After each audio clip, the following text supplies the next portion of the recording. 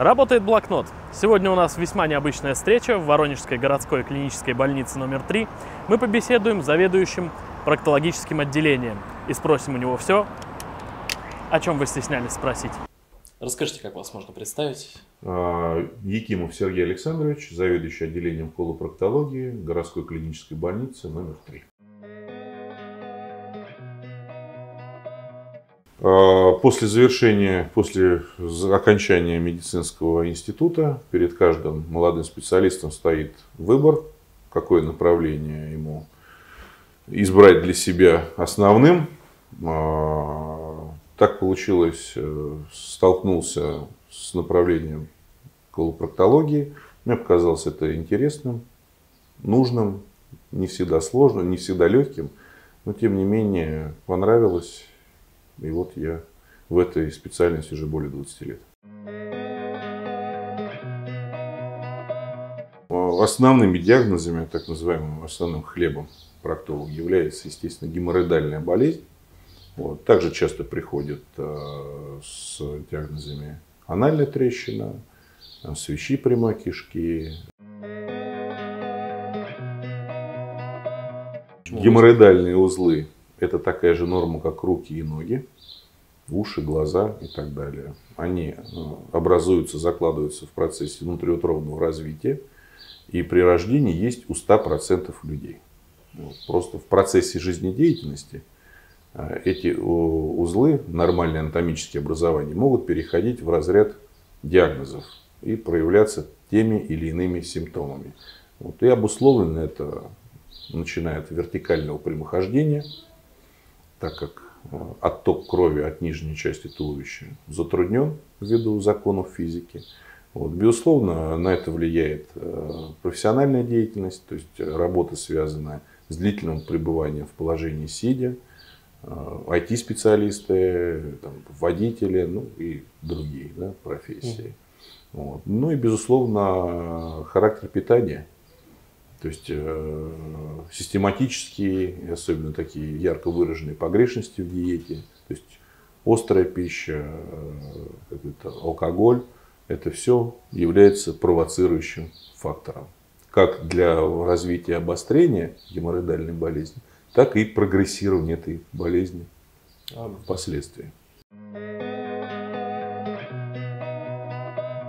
Геморрой влияет на качество жизни геморрой, э, геморроидальная болезнь не приводит э, к смерти, не приводит к онкопатологии.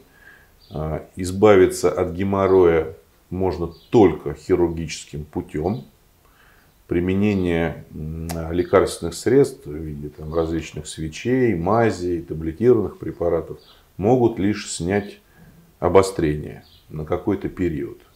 Но так как это заболевание не несет угрозу жизни, то решение о а, том или ином методе лечения, хирургическом или консервативном, принимает непосредственно пациент. А вот, ну, получается, сам диагноз не опасен, а операции в случае чего они несут какой-то риск? А, любое хирургическое вмешательство, независимо, делается оно в проктологии или в другой какой-то дисциплине, любая операция несет в себе риски. Вот. Для того, чтобы эти риски минимизировать, их свести к нулю, вот, врач должен владеть своей профессией, всеми необходимыми знаниями и методиками, а пациент должен четко выполнять рекомендации врача. И только лишь совместная работа врача и пациента принесет нужный результат без осложнений. Мы не применяем э, методов народной медицины. Это обусловлено ну, спецификой, так скажем, э, расположения, да, так скажем, проблемной зоны. Вот. Не, данное знание не предоставляется в университетах и в академиях, вот, не имеют научной доказательной базы, вот, что очень важно в современное время, так как медицина, сейчас есть такое понятие, как доказательная медицина. То есть это должно быть не на личном опыте, а ну, такой более широкую базу доказательную. Поэтому не применяем. боль это не всегда сопутствует той или иной патологии. А, проблемы с ЖКТ могут возникать, э, проявляться нарушением стула, будь то задержка стула, либо наоборот учащение стула. А, могут проявляться какими-то патологическими выделениями, примесями в кале. Это может быть и кровь, и выделение там, слизи, гноя, ну каких-то всего, всего того, чего не должно быть, так скажем, в норме. Вот. Ну, есть косвенные признаки э, какой-то болезни, например, э, общая слабость, э, при которой выявляется снижение гемоглобина крови, снижение массы тела беспричинное, то есть на фоне полноценного обычного питания. То есть такие симптомы могут навести на мысль о необходимости как минимум проведения обследования. Можно? Да, конечно же можно. Основная проблема и очень часто возникающая – это самолечение пациентов э, различными геморроидальными средствами. То есть пациент отмечает выделение крови или следы крови на туалетной бумаге, э, расценивает это как геморрой и проводит лечение. Вот, однако существует достаточно много заболеваний, которые могут маскироваться под диагноз геморрой. И одним из самых грозных заболеваний, естественно, является колоректальный рак, то рак прямой кишки. А, и, безусловно, несвоевременное обращение к врачу вот, может привести к неблагоприятным последствиям, в том числе и летальному исходу. А может ли как-то человек отличить геморрой от рака, если вы какие-то знания сейчас передадите? А, самостоятельно сделать это невозможно, и более того, это категорически неверно. Если у человека возникают жалобы, первое, что он должен сделать, это обратиться к врачу. Ну, есть, есть мнение, что есть такое понятие, что геморрой сам не посмотришь и другому не покажешь. Безусловно, это достаточно такая интимная сфера, хотя сейчас в современном мире рамки приличия уже настолько размыты, и по телевидению зачастую, и особенно в интернете транслируются э, много такие вещи, про которых, э, о которых 20 лет назад было бы и думать стыдно. Вот. А если есть у человека проблема, ему поможет только специалист. Соответственно, выбора, правильного выбора у пациента нет. Необходимо идти к врачу. А понятие э, стыда и вот какие-то боязни, это нормально. Это говорит о психическом здоровье человека, потому что только дурак ничего не боится. Но поверьте, 99% пациентов вот, а может быть даже и 100. После посещения врача-колопроктолога могут подтвердить мои слова, что ничего страшного не произошло. И не так все страшно, и не очень-то сильно и стыдно. Вот. Э, главный результат. Врач э, всегда э, исторически так сложилась была уважаемая профессия. Вот. Без нее существование такого социума, полноценное существование социума невозможно. Вот. Потребность в медицинской помощи есть у всех и всегда, и в течение жизни, хотим мы того или нет, нам приходится обращаться. Соответственно, врач не будет оставаться без работы, соответственно, он будет зарабатывать. Ну, вот. Но э, идя в медицину, Э, с мыслью о том, что я хочу или буду зарабатывать миллионы, это не совсем правильно. Потому что врач э, – это специальность по призванию в первую очередь, а финансовая сторона, она вторична. Ну, э, в медицине, в, так скажем, в колопроктологии очень сложно озвучить какой-то необычный случай. В основном ну, такими необычными случаями можно назвать казуистические. То есть, когда люди неадекватно выполняют какие-то там процедуры, вот, или же какие-то а, прибегает к манипуляции, в том числе такого, так называемого развлекательного характера. Вот. Но назвать эти случаи каким-то образом необычными сложно, интересными тоже, наверное, нельзя сказать. Наверное, не назову необычного случая, дабы никого не обижать. Вот. Болезнь есть болезнь, проблема есть проблема, она требует решения. И когда человек приходит с проблемой, а уходит без нее, вот это самое, самый интересный случай, то, ради чего мы ходим каждый день на работу, ради чего мы учимся, что-то познаем и так далее. Естественно, я такую статистику не веду, а, но и я здесь не одинок, и любой врач хотя бы раз в жизни э, спас человека.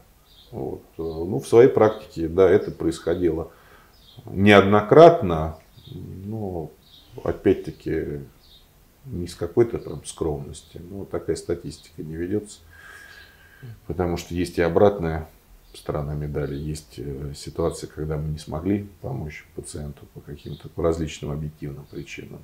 Вот. Ну, такие вещи давят на психику?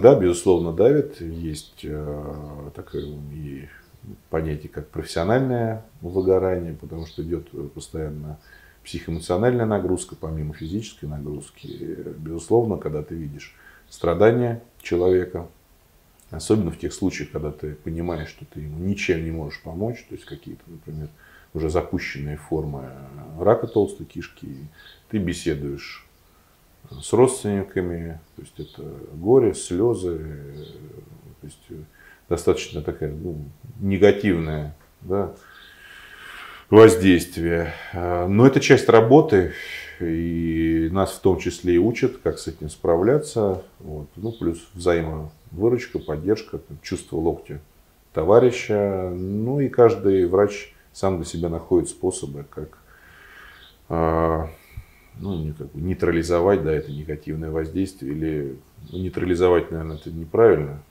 как-то уменьшить вот, негативное воздействие на психику непосредственно врача.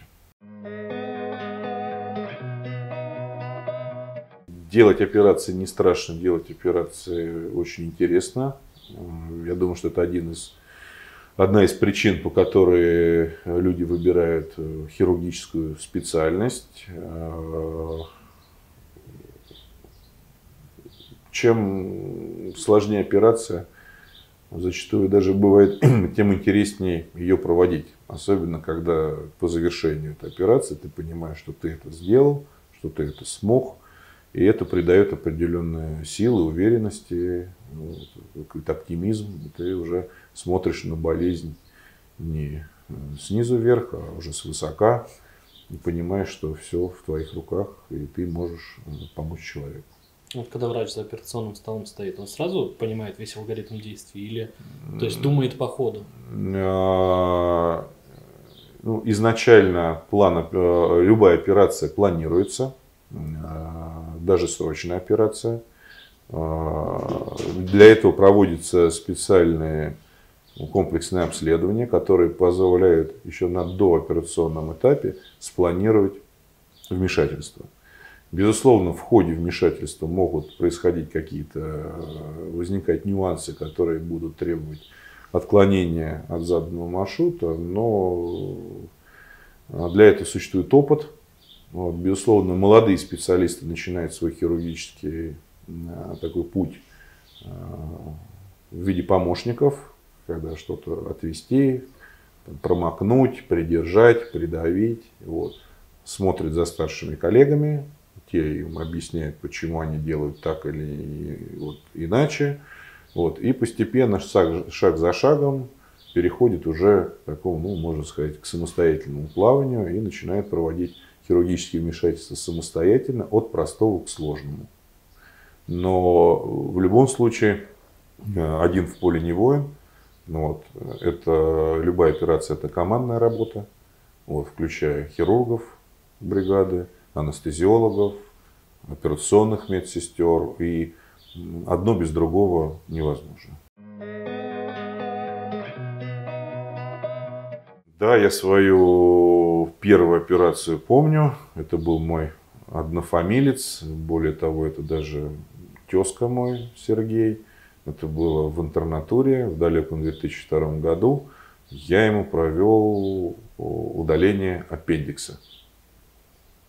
Все прошло? Да, все прошло гладко, несмотря на то, что первый блин был никомом. И, и не боялись в ходе? Ну, когда а, первый надрез а, в жизни? А, безусловно. Но это нельзя назвать страхом. Угу. Это больше мандраж, это даже больше такой эмоциональный прилив, это больше волнение, нежели страх, потому что ты понимаешь, что здесь уже перед тобой живой человек, и это не автомобиль, где можно прервать ремонт или в конце концов э, купить новую запчасть и поставить. Да, волнение есть, страха не было. А, не бойтесь обращаться к врачам, в том числе к врачу-колопроктологу. А, сам факт консультации ни к чему вас не обязывает. Вот, но получив информацию, э, пациент сможет э, принять осознанное решение. Без э, обращения к специалисту-колопроктологу решить свою проблему пациент самостоятельно не может. Приходите, не бойтесь, и будет вам счастье и здоровье.